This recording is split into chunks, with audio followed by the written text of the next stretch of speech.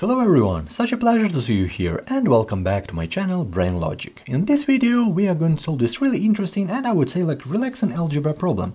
We have 2 minus 2 times 2 minus 2. Very easy, yeah, and for, for most of you this is maybe the easiest problem you've ever seen in math because we have like only subtraction, we have multiplication and every one of you learns this stuff in the third grade. So what is the correct answer? Right here we have options, we have option A, option B, C and D, so four options. So right now I suggest you to pause the video and try to solve it by yourself.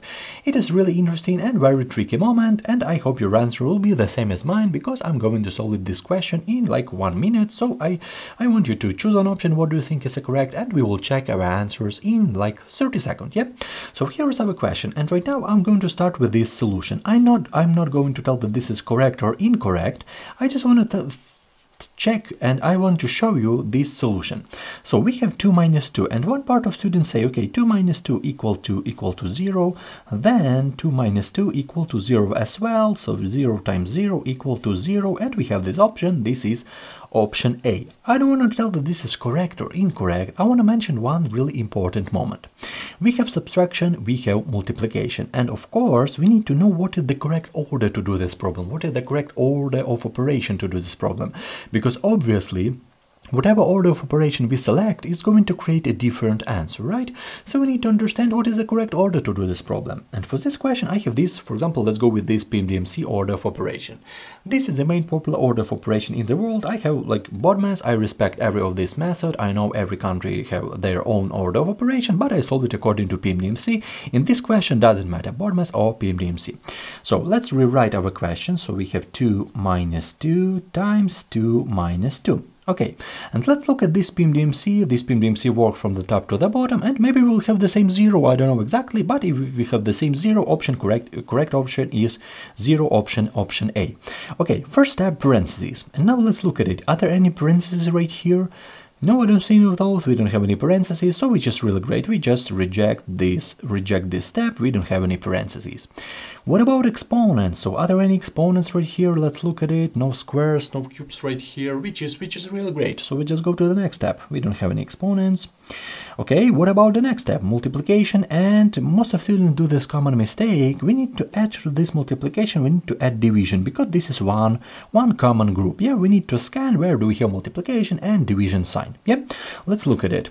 Right here we have subtraction, this is our first sign, we don't need it. On the, on the right we have subtraction as well, but in the middle we have this multiplication. So as you can see, according to PEMDAS, we need to multiply it first and then after this multiplication we can easily add and and subtract. So um, multiplication and division this is before addition and subtraction.